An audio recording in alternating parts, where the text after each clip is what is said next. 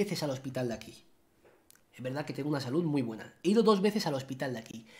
Una vez fue por porque se me desencajó la mandíbula haciendo la intro de Ey, muy a todos guapísimos. Esto no sé si lo sabíais. Eh, Willy siempre se parte el culo con el tema este y, lo cuenta. Pero estuve un montón de tiempo, no sé. Ey, ey, muy a todos. Ey, muy a todos guapísimos que Vegeta 777. No me salía bien el 777. No sé por qué me empecé a emparanoiar. Me empecé a emparanoiar. Ey, muy a todos Vegeta aquí 777. Y llegó un momento que está el músculo aquí se me desencajó un poco. Es decir, no sé qué pasó, que el músculo como que se me montó y se me desencajó. Y se me desencajó. Y me acuerdo que dije, no me lo estoy creyendo. No me lo estoy creyendo. Cogí el coche y me fui a... Esta es la primera vez que he ido yo aquí al, al hospital. Y a esto te voy a decir lo siguiente, que me dijeron, para venir de urgencias y cobrarte o no sé qué, tú tienes que tener un médico de familia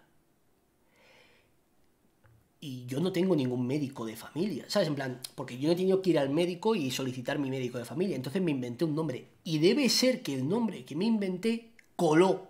Hay un médico que se llama aquí así.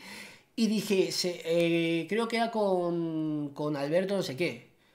Puede ser Alberto tal. Y ese, ese, está mal hecho. Está, pero es que mm, estaba yo con la mandíbula mal. Y si tú vas al hospital, no puedes pedir mi informe, ¿no? Imagino, pero si tú vas al hospital te van a decir que sí, que yo una vez fui por una cosa de la mandíbula y me dijeron, no, esto, tómate, no sé, me dio una especie de pastilla que era como un relajante y no, bueno, de hecho, fijaos, me acuerdo que ese día tuve que comer sopa, fíjate tú, porque claro, imagínate, yo no podía abrir la mandíbula más que esto. Ah, es que, así, así, pero ¿qué pasa? Que para hablar, no, fijaos, yo puedo estar hablando así perfectamente y vosotros no os enterasteis, porque ni pongo cámara ni nada. Pero yo tenía la mandíbula eh, que se me había desencajado.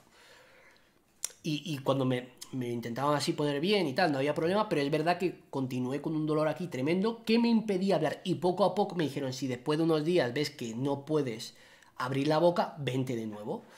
Y tuve la suerte de que ya empecé a abrir la boca bien. Pero, pero... De hecho tengo un problema también que fijaos. No sé si se escucha. al abrir la boca, me cruje, me cruje esto. Y sé, y sé, tengo que ir a, Me dice mi padre, ve al médico para que me den eso. Es que no, porque, porque seguramente me dicen, no, esto hay que operarlo. Y digo, es que yo puedo vivir con ello. No quiero que se opere nada, ¿sabes? Puedo vivir. Puedo vivir con ello.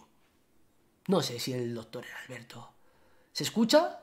Se escuchaba, ¿no? Pues me pasa, no sé. Son cosas, mira, estoy descubriendo cosas de mí, ¿eh? Después de 10 años todavía... ¿Se escucha? ¿Se escucha? Sí, sí, sí. Pues así se me ha quedado... No sé. Y bueno, lo que os digo que